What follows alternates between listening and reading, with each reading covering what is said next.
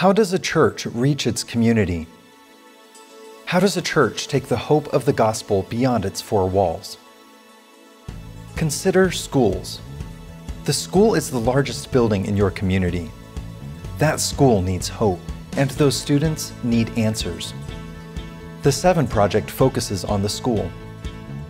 The school becomes the place where the church serves, gives its time, and really empowers students to reach their friends.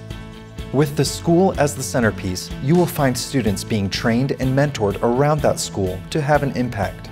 The gospel is shared, friend to friend. Moving outside those friends, you'll find a church, a church that exists to support those students. But not just one church. The Seven Project connects the church and multiple community organizations so that together, students are empowered to reach that school. Outside those churches, you'll find Youth Alive, there to support each of those rings. Youth Alive is there to pray for, empower, bring the school assemblies, and have an impactful night service in that community. Seven at Night combines all the planning and all the preparation to see the climax of the night service. Students met with hope.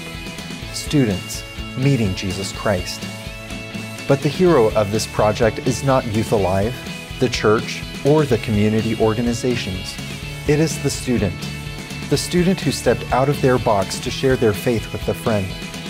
The Seven Project combines churches, students, and schools to bring hope to our communities.